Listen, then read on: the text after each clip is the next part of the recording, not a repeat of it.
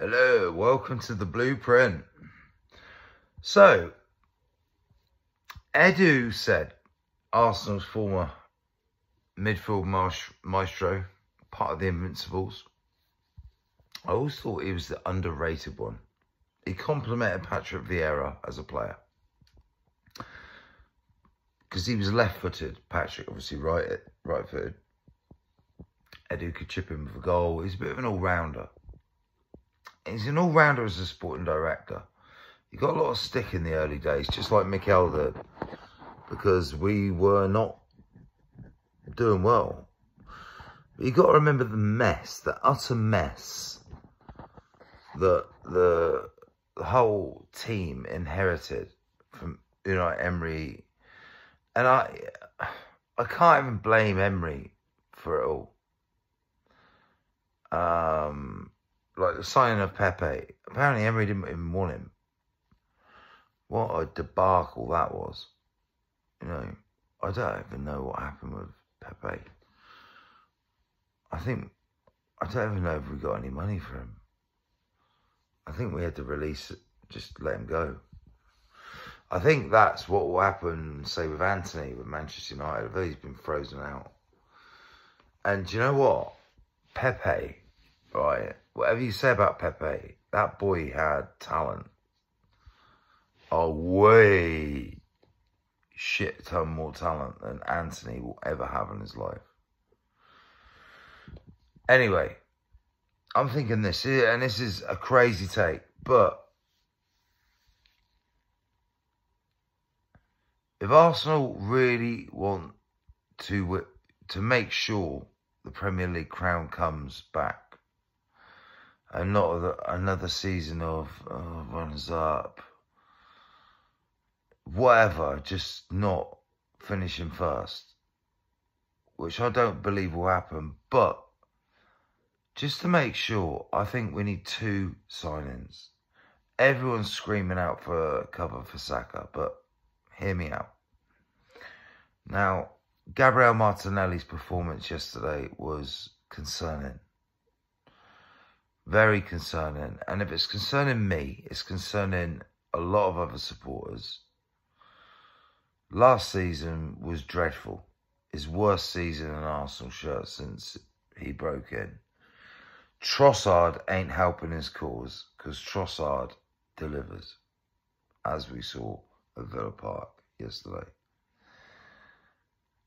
I think there's only one option, and it's Nico Williams.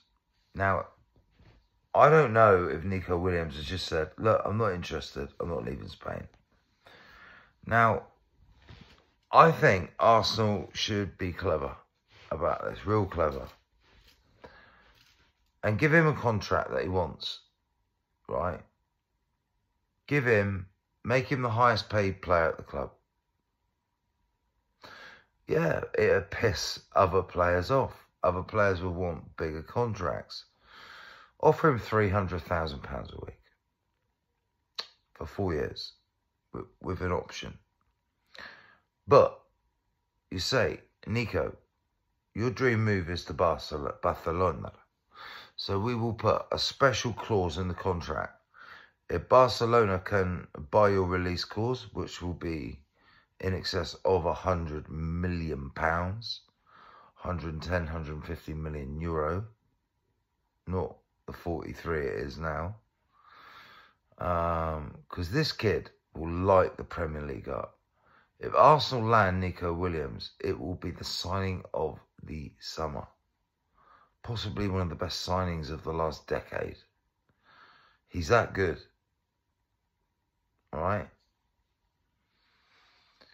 Um, I think he can be tempted away in the in this last week if the terms and conditions are right and the right details are in his contract. But I don't think it would stop at Williams. Um, look, Arsenal I've just let go of two attacking midfielders, ESR, Smith Rowe. Fabio Vieira has gone back to Portugal. And Nketiah has gone, right? as a striker and two offensive midfielders, creative, offensive, goals. Are you thinking Mikel Arteta's not going to address that? If, if you think not, you're mad because he has to address it because, God forsake, we had an injury crisis. We'd be in deep shit. Uh, you could forget a title we'd probably be scraping into the top four. You know what I mean? If the wrong players got injured. For me, um, I think it's clear. Gabriel Martinelli has to be offered to Atletico Bilbao as maybe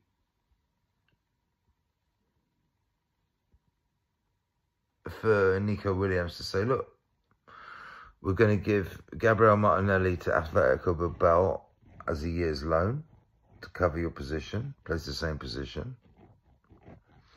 Right? We know Barcelona have been interested in Gabriel Martinelli, but I don't just don't think they could afford him. Um, a year's loan with an option to buy for Bilbao. Right? Williams' contract, no less than four years with one year option. But in that contract, uh, Williams is to stay at Arsenal for no less than three years. Mm-hmm. yeah, yeah. I I actually think it'd be good for someone like Cesc, Fabregas, manager Mikel to to talk about the advantages of coming to the English Premier League and the effect it will have on his career when he goes back to Spain, which he inevitably will. And you could explain to him maybe in three to four years, Barcelona could then actually afford to not only buy you outright, to pay your wages as well, match them what Arsenal are, are, paying now, which would be half a million euros a week if converted. That's big money, right? And yet he, he would go straight, he would, Williams on one side, Saka on the other, right? But I don't think Arsenal finished there. Um, they're going to buy number nine as well. They just are. Um, it's going to be either Niko Jokovic or it's going to be um, Victor Osimhen. Oh, sorry, Victor Gyökeres or Victor Osimhen. I think it's going to be Osimhen. I think we're going to get him for around. I think we can get him for around 75 to 80 million right? Because I think Conte just wants rid. But the Napoli president's very powerful. It's not down to Conte, it's down to the president at the end of the day. But I just think they're gonna. He's on big wages. That I just think, you know, um, if Arsenal pull off Williams and Victor Osimhen in in this last week of the transfer window. Oof. That is not only the biggest statement in England for a team who's finished runners up two years on shot to Guardiola and City. That is a statement for every honour, not just domestically in England, league and cups. That is a major statement for the Champions League as well um, which I think with the, the best defence, uh, Merino just signed. I mean, look at the options Arsenal have in midfield. It's ridiculous. The only player I would be a little bit concerned about is who do we have if if Odegaard was to get injured? We don't have anyone there. Um, not many players do have a Kevin De Bruyne backup or, uh, well, City. They've got Foden, haven't they, and players like that. But, so, um, I don't know, you know, maybe Arteta, I think he he really wants Williams. Um, and I think he'd be quite happy to ship Martinelli out because if Williams was to come in, Martinelli wouldn't get near the team. Not with Trossard the form he's in. Um, and in Nketiah, it just makes sense to sign a striker now. It's time. Uh, Arsenal have the cash. Um, I think maybe Reiss Nelson might stay for one more season, just as to give Saka a bit of a rest. Um, especially if we were to let Martinelli go to Spain on loan for a season, or if someone put in a, a nice offer. I think Gabriel Martinelli is done at Arsenal. For me, all I see Martinelli good for is um, the last 15, 20 minutes in the game to bring him on because he's full of energy, he's quick. But Gabby, man, I'm gutted because he's a fan favourite.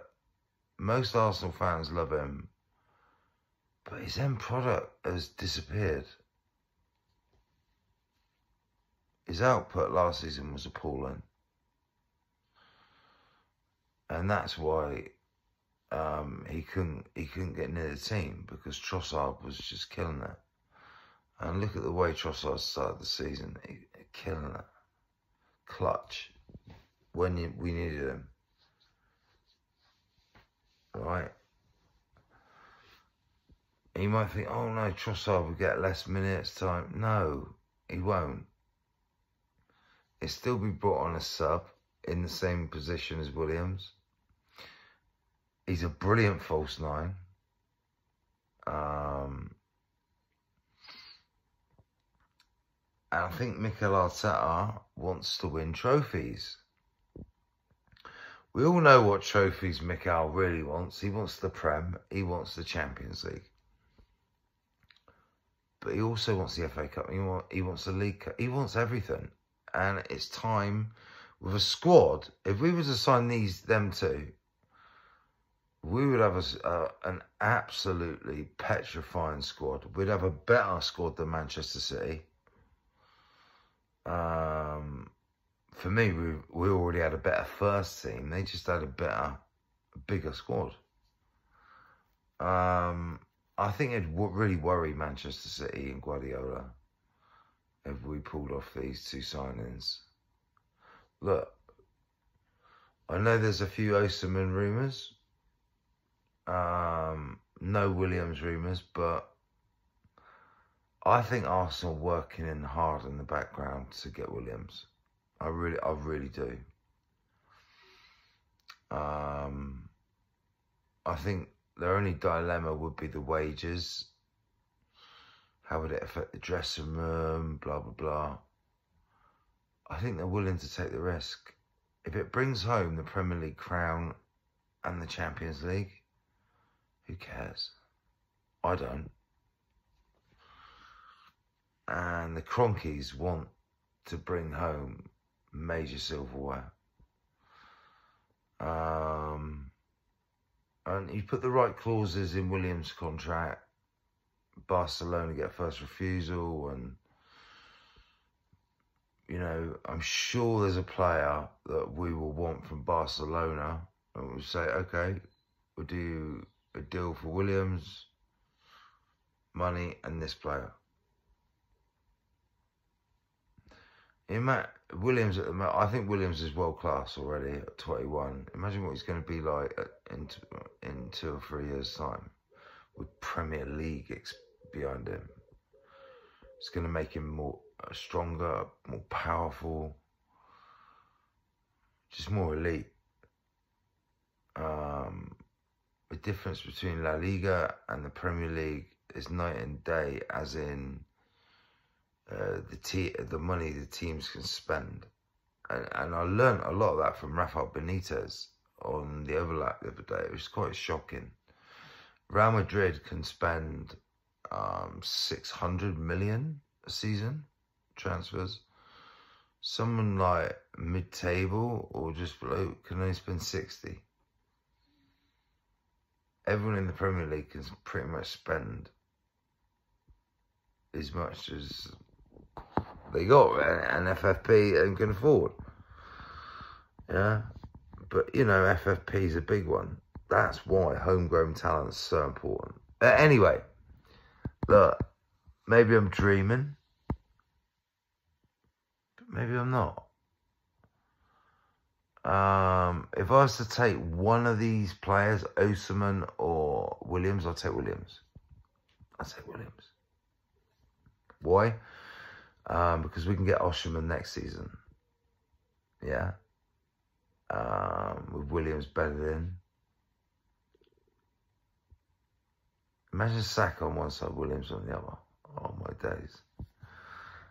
With an Odegaard pulling the strings.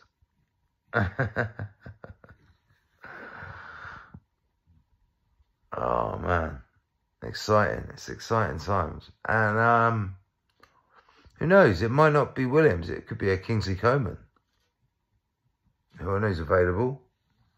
It could be a Leroy Sane. Um, Serge Gnabry. Uh, no, I don't think. I think he's on a new deal, but I, I, I, actually wouldn't want Gnabry, Gnabry back. I'd rather have Sane or um. But actually, I, I actually, I've, I've always loved Kingsley Coman. He's 28. He's in his prime. And he wants to move away. So if the Williams thing fell through, Coman, for me, would be perfect.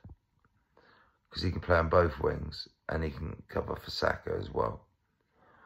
So Coman, and yeah, I'd then, obviously, I'd go for the Osimhen.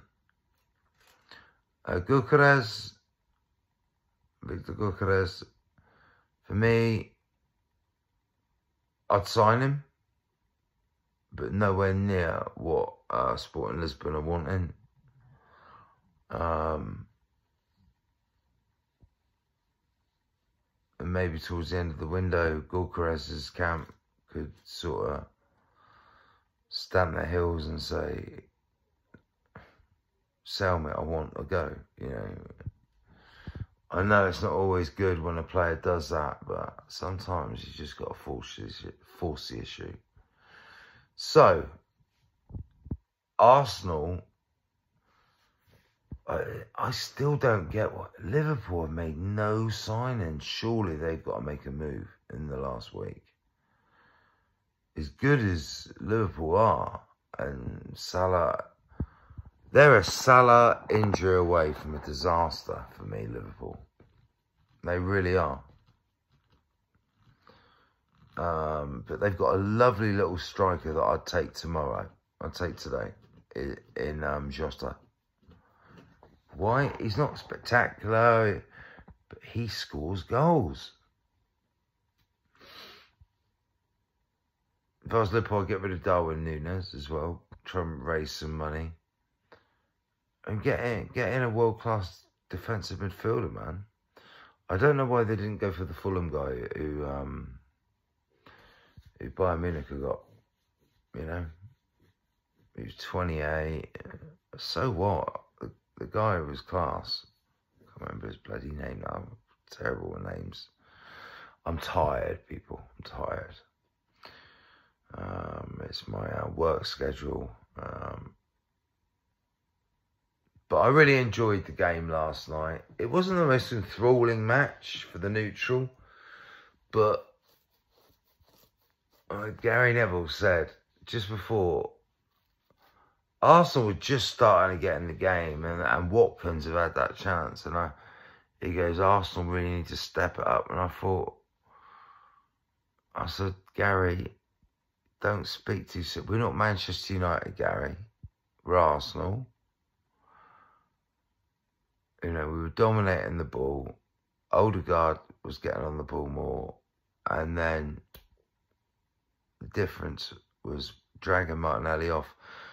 who I think is in his last season for Arsenal. I, I honestly think if he did leave out on loan, if we get a Kingsley Coman in, I think Martinelli's gone. I think we'll get rid of him. He'll be frozen out this season. He really will. Um, and it, it'd be a sad way for Gabby Martinelli to leave. He's a lovely lad. He really is.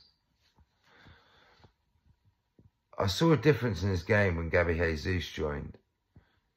I think he loved it that a more experienced Brazilian player had come into the team. But look at the way Jesus, I mean, no wonder City sold him. We got our money's worth out of Zinchenko. Not defensively, but the way that he sprays it around technically and the way he can come in the midfield. You know, I love Zinny. Um, and I don't want to sell Zinchenko at all. But uh, Jesus is another player that I think will be leaving Arsenal in the next year or two. I, I'd say next summer. I think Arsenal are going into a different stratosphere of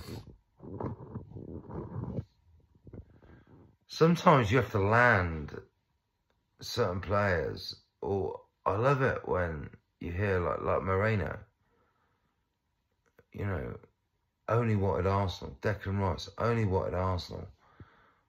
I haven't heard this talk from big players for so long, and it's so refreshing. But to get a Williams, an Osimhen, I think if we pay the money, he comes and he signs. I, I do think it is pretty much that simple. I think we could sign Victor Osimhen no problem. And I'm I'm pretty. I I I, I think we might get him still. I do. Um, I think the rotation we could have in all four competitions. Brilliant. Um,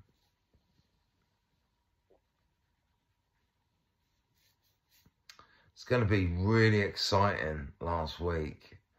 I just hear, I just, I'm going to be keeping my eyes out, not just for English or for Fabrizio Romano, but Spanish outlets around Nico Williams or any other wingers in Germany as well. I'll be looking at uh, keeping an eye out for Coman. I don't think Sane is going to come because he'd demand first team football and his position, he's never going to get in front of Saka. Whoever you think the better player is, Leroy Sane or Bukayo Saka, Saka is not being dropped for anyone. N no one. Well, Bukayo Saka, uh, for me, proved in the Euros he's world class once again for England.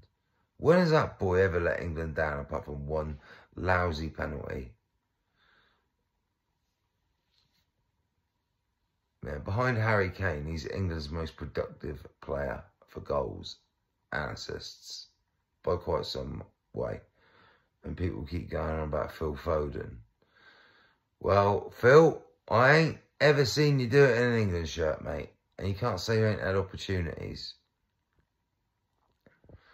Yeah, maybe the next manager can find the recipe. Because one thing is for sure, Bukayo Saka is a mainstay for Arsenal and England and will be a big player in the upcoming World Cup in the Americas, which I will hopefully be going to with my best buddy. Um, anyway, um, this is just a bit of a. I'm getting tired. I'm going to sleep soon. I, hopefully, I'll wake up and my phone will ting. Arsenal in talks. Nico Williams in London. Osimhen in London. And then I'll wake up. wake up, Louis. No, I, I, I, I tell you what. I, I think we'll sign one of them, but who will it be? Put in the comments. And thank you for the extra subscribers. The road to 100 is on. I was talking to a friend recently and we're going to be doing a podcast. That's right. Um, and yeah, um, I have friends on other bigger podcasts. I'm not going to drop names. Um, but the the better my podcast gets and the more guests I have on, and believe you me, I'll have some popular guests on. Um, Arsenal guests, foot, Big Six rival guests, European, uh, Champions League night guests, you know, previews, after, you know, Galacticos talk. Yeah? Because us in Europe, we are all, Real Madrid are not the only team of Galacticos. They might have signed Mbappe, but haven't we all got Galacticos in our team? I think we have. Anyway, peace, over and out. Six points on the board after two games. Brighton at home next. I fully expect three more points, even though they're good starts to the season. And then it's the international break, the dreaded one already. Christ. There must be World Cup qualifiers starting already. So it better not be friendlies. I'm sure it must be World Cup qualifiers, surely. Um, will we have a New England manager by then? Who would I want as a New England manager? Eddie Howe. Simple. Does he want the job? I don't know, but I think he's the most talented English coach out there. And Eddie, he's a bit like Miguel.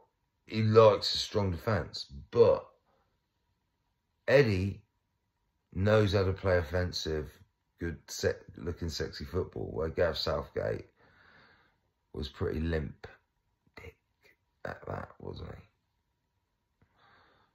I mean, the guy was just a coward, spineless coward. And I'm so glad Gareth Southgate um, resigned. He didn't get enough beer um, empties chucked in for me. I'm going all the way Germany to watch that tripe. To get to the final and not absolutely go for them Spanish jugglers. Spain were the best team in them Euros. But England got to the final for a reason. Why? Because we have the players. Yeah. I still think we can win the World Cup in the Americas. With the right management,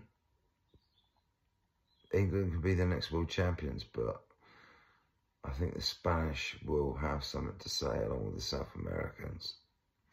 Anyway, over and out. Please hit that subscribe button and help me out. And let's get this podcast up and running.